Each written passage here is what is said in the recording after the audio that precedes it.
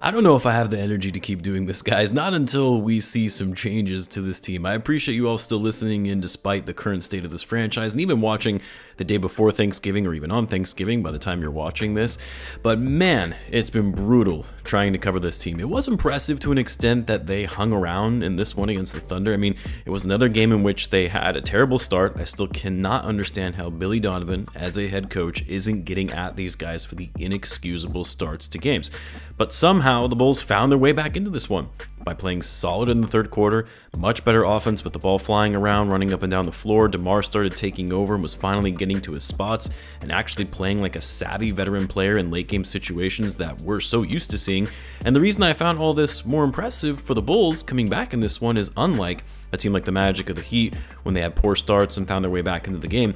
This is the Oklahoma City Thunder, who I consider to be one of the best teams in the NBA with all their young talent and a balanced roster, and it was on the road. But at the end of the day, it doesn't matter how you come back, who you come back against, they still took an L, putting the Bulls 5 and 11 now, back behind the Hornets for 13th in the Eastern Conference. Absolutely brutal. Before I get into the rest of the video, I wanted to quickly tell you about today's sponsor, Sorare, which I am super excited to tell you guys about their platform, especially considering it is free to join, it is super fun, and you get to win prizes, collect digital cards and assets in the form of NFTs. Unlike most fantasy sports apps, they are different in that it's actually a fantasy gaming marketplace. There is no gambling or betting of any kind. The site enables you to play where users own their players forever. Think of it like you're a GM creating your own dynasty and you're competing weekly in fantasy competitions for great prizes. Users are owners or general managers of their team making trades, buying and selling players, all that good stuff. And unlike other gaming sites or betting platforms, it doesn't cost you anything to play. You can start for free. I've created my own private league where you can compete and play against each other for prizes and offers, so check it out if you're interested. Join my private league. Link is in the description. We got some great people in there, and thanks again to Sorare for sponsoring this video. You know, I know Stacey King keeps saying on the broadcast this team is so close, how they're so close to turning things around. I love Stacey and I've had him on the channel in the past and always value his insight and opinion, but I don't know how one can say with a straight face that this team is so close to turning it around. It's been clear for over a year now that this team isn't going anywhere. Yeah, yeah, they show some signs of life here and there. Yeah, maybe they come back in games and nearly get an impressive win, but for the most part, they're losing. Their offense is crap, and the guys all but look checked out at this point. Even Billy Donovan looks checked out. This team isn't going to figure it out, plain and simple. And until the front office recognizes that and starts making meaningful changes, it's going to be more of the same thing that you see before us. Now, Part of me would like to say that had Zach LaVine played tonight, maybe the Bulls would have been able to pull out a win, but as much as we may want to believe that, and the Bulls definitely could have used his offense, you're probably going to get the same result that we've been seeing with the slow starts happening with Zach also in the lineup. You know what's crazy is everyone always harps on the Bulls for losing the three-point battle. They don't take enough threes, or they don't make enough. The Bulls put up 44 threes tonight, very uncharacteristic of them, and they hit 17 of them, good for 38%, while the Thunder only put up 29 threes and made 11. 18 point differential in terms of three point shooting. It gets even crazier because the Bulls also had 13 more shot attempts than the Thunder did in this game. The Thunder only took 75 shots, which is below average, below league average, and yet somehow they still managed to win the game. You know why?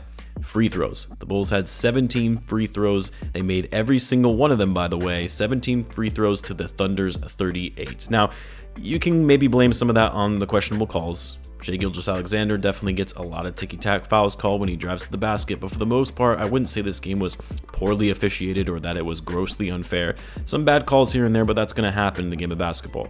But the Bulls, they just committed a lot of bad fouls. Some of them really bad ones, fouling the three-point shooter, Coby fouling on the three-pointer and the and-one and a chance at a four-point play, which all but sealed the game for them. Just a lot of basic mistakes, mental lapses, and miscues that really impacted this team and their ability to win the game. Like, it's very rare for the Bulls to outscore their opponent from the three point line or have such a huge disparity in the overall number of shots. They forced the Thunder to shoot less than 40%. The defense was solid, but it's the little things the attention to detail that kills the Bulls and has been killing them all season. And it's another piece that impacts their offense, their low free throw attempt rate. And it's part of the reason they have such a low offensive rating and ability to generate offense as a whole. They're not good at getting inside and drawing contact. DeMar is really the only guy that can do that with ease and to an extent. Zach, Bulls are 25th in the league in free throw attempts. It's unfortunate because the Bulls actually played a decent game against a great team. They had balanced scoring with all the starters in double figures. Patrick Williams even got into double figures, which seems like a miraculous accomplishment at this point. Coby White had another great game, shooting it well from behind the arc. Seven threes in this one for him, seven for 12 from deep. That's what we need to see from Coby White. Like the Bulls need a legitimate three point threat on a consistent basis that defenses know they have to respect when they go up against the Bulls. Zach is really the only one and obviously he might not be around for very much longer.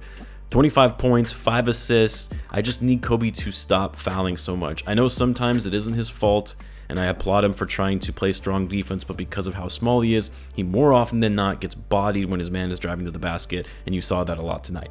But regardless, it is encouraging to finally see Coby coming out of that shooting slump and being a more dominant scorer in the starting lineup. Vucevic was also solid tonight. Played really well in the post, even hit a couple threes, 16 points, 12 rebounds, 3 assists, only one turnover. Caruso still keeping up his side on offense, 12 points, 5 for 12, hit a couple threes. And then DeMar, who started out the game really slow. I feel like he didn't even have his first field goal until the second half. If I remember correctly, he started out 0 for 7, which was not good when you need him to step up and be the focal point on offense with no Zach LaVine. But he started taking over in the second half, really willed this team back into the game. It was almost like you knew DeMar felt the only way this team was going to have a small chance at winning was by him just taking over the game. Shot 6 for 17, not good, but where he got the bulk of his points was at the line. 13 for 13, finished with 25 points and 6 assists, 2 steals, and a block. And he also passed 22,000 points for his career, good for 36th on the all-time scoring list. Congrats to DeMar on that. Now, as far as Zach LaVine and this right foot soreness, they're not sure whether he'll be good to go on Friday against the Raptors. If you ask me, which I have no sources or anything to back this up, but it sounds a little suspect. Zach has only taken 19 shots in his last two games.